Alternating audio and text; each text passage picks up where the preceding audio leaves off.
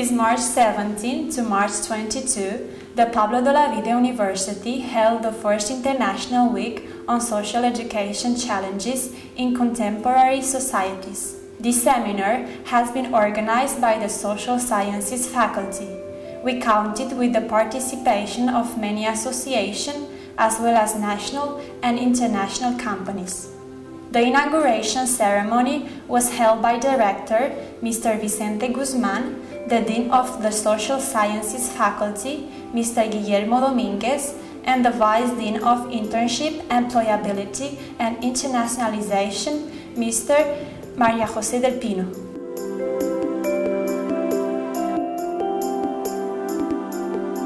The activities which took place were aimed at national and international students, Erasmus as the teaching staff and the administrative and service staff.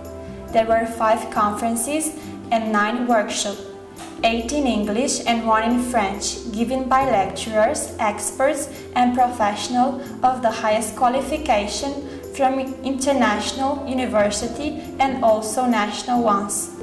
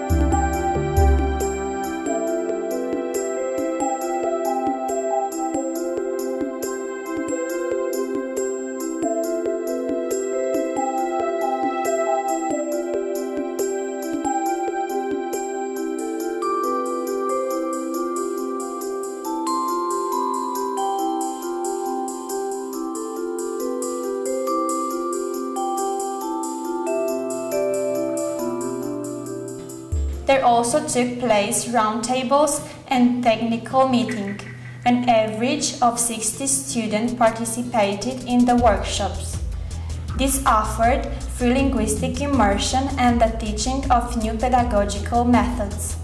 Some of the topics were the political participation and the citizenship, the game and the theater as creative pedagogical methodology, the mobility in Europe, the learning of English by person diagnosed with dyslexia, the immigration, the role of technology in teaching Spanish to immigrants. The students also interact with the civil citizenship in a positive way. At the end of the seminar, each student group presented the final conclusion of their workshop and a brief resume of its contents in English or French. The aim of the International Week is to face the social challenges in the nowadays societies with tools as the literacy and the linguistic immersion, the reinforcement of networks with international universities, associations, and NGOs in order to approach university to our society. the strong participation and involvement of the professorship has been essential for the achievement of the first International Week that will certainly not be the last one. The director of Pablo de Olavide's International Relations Department, Mr. Jose Maria Moran, the Vice Dean of Academic Organization, Mr. David Copos, and the Vice Dean of Internship, Employability and Internationalization, Ms. Maria Jose Del Pino, closed the seminar.